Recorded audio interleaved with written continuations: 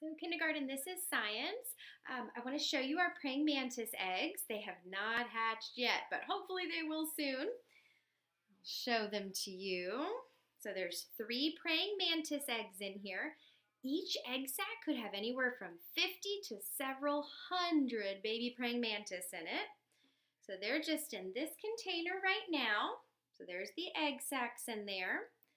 And here's the lid but I had to put some mesh netting under the lid because the praying mantis nymphs, when they hatch, they'll be so tiny that they could even get through those slots and escape because they're so tiny when they first hatch. So that's why I put this like screen mesh netting in between. So air can go through this so they can still breathe, but they won't be able to escape. Okay? So there we go. There's one of the egg sacs. So a Chinese mantis laid this egg sac. And when it hatches, I'll have to put some of their prey in here. Now remember, praying mantis are insectivores. They eat other insects. So they like to eat grasshoppers, crickets, really any insect they can find. But when they first hatch, the nymphs, the babies are so super tiny, they have to eat really, really, really small insects. So online, I ordered some fruit fly insects, some little fruit flies that the praying mantis babies will be able to eat when they hatch. So I'll put some fruit flies in there. Then, if you would like to, you don't have to, but if you would like to, you can pick up either from the school parking lot or my driveway when they hatch, I'm going to make a little praying mantis habitat for everybody. So it'll be just with a plastic cup, a see-through cup so you can see it, with some dirt and some little plants at the bottom. And then I'll put some praying mantis nymphs in the cup, several baby praying mantis. Now, they'll need to eat, right? So I'll put some little fruit flies in there too. They get most of their water of their liquid from the fruit flies. They really don't need to drink too much water at this age, but maybe I'll just spray a little water in there for them. And then I'll put a little bit of the mesh netting over the top to where they can still breathe, but they can't escape. And I'll put a rubber band around it so it stays on. Okay?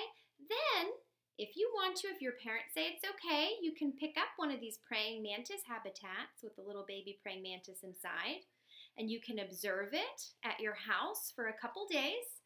Then, when the praying mantis babies eat all of their insects in the cup, it'll be time to release them in your yard, okay?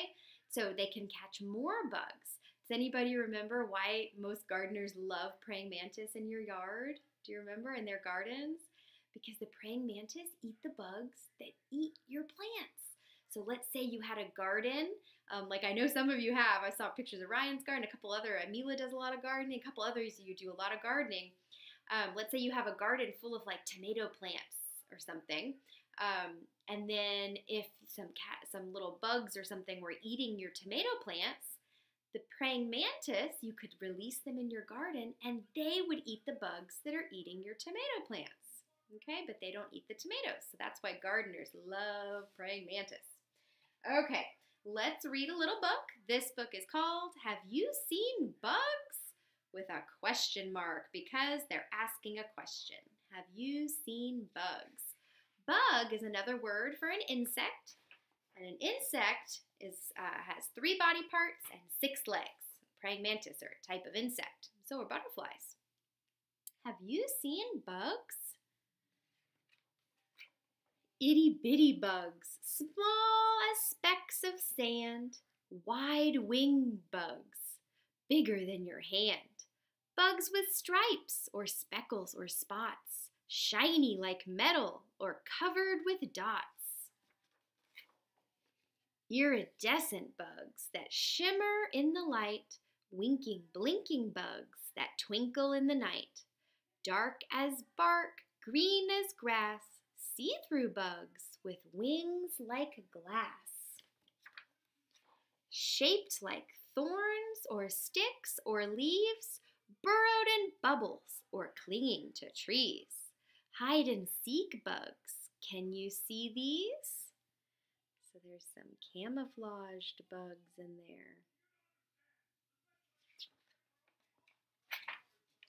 Watch out for those slow off bugs, or the, watch out for these show off bugs with colors bold and bright, flashy, sash, sassy, daring bugs, such easy bugs to sight. Like warning signs, bold markings say, I'm poison, I smell, I sting, stay away. Have you seen bugs and how they move? Long legged bugs jumping with a bound, short legged bugs running on the ground. Some are fast, they dart and leap. Some are slow, they crawl and creep. There's that praying mantis camouflaging on the grass or on the leaves of that plant. Bugs that flutter and scurry and dive, bugs that buzz around a hive walking on the ceiling, crawling up a wall. Some bugs hardly move at all. What about water bugs? Walking on the water, swimming under water bugs, skimming over water bugs.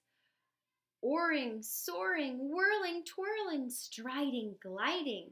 Have you seen these? Have you heard bugs? Bugs have no voices, but they can sing rubbing their legs, whirring their wings. Busy crickets in thickets wait for night to fall. Then they rub their legs together and chirp their mating call. A bug has no ears on its little bug head, but some bugs hear through their legs instead, while others use antennae to taste and hear and smell and tiny hairs that touch and tell and help them find their mates as well. Some bugs even use their feet to take a taste before they eat. Have you seen bugs and how they eat? Beetles have mouths. They can bite and chew and snip, while others, like a, the butterfly, have mouths with straws that sip. There's its proboscis. Most bugs dine on plants, some bugs dine on meat, others take a nip of blood or sip of nectar sweet. Have you seen baby bugs? Inside a hive, nesting in hair, bugs hatch from eggs everywhere. Underwater, underground, in so many places, bug eggs are found. In the bark of trees or wrapped up in leaves, Baby bugs hatch from all of these. Baby bugs are small, but just for a bit. Little bugs keep growing till their skin doesn't fit. But some bugs form a chrysalis or spin a fine cocoon where abracadabra they grow wide wings in a magical changing room. There's a monarch, right?